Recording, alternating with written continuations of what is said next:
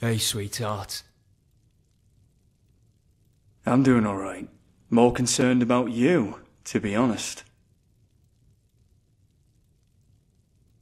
Believe me, I'm trying my hardest to fight these demons, and I do this even more so because of you. You're an inspiration to my very soul. Do you know that?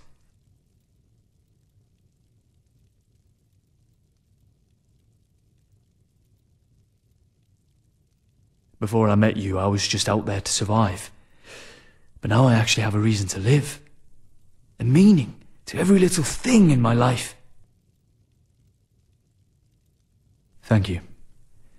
It means a lot for you to say that.